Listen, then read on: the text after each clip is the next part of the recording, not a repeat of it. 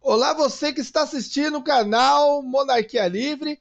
Estamos no site Brasil33.com que mostra essa foto do Toffoli preocupadíssimo. Ele está sendo extremamente rejeitado pelo povo brasileiro. Aliás, a sua hashtag Fora Toffoli está batendo recorde mundial no Twitter. Olha que coisa inacreditável. E por que que está batendo recorde?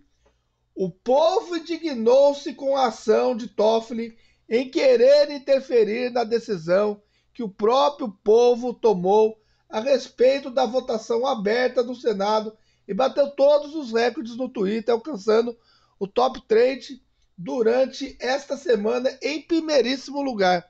O mala do ministro foi querer se meter na decisão popular e se deu mal. Agora fica com essa cara de medo de ser caçado. E você?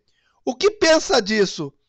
Ele tem que ser caçado mesmo? Deixe o seu comentário aqui no canal Monarquia Livre. Vai mexer com o povo, vai, Toffoli.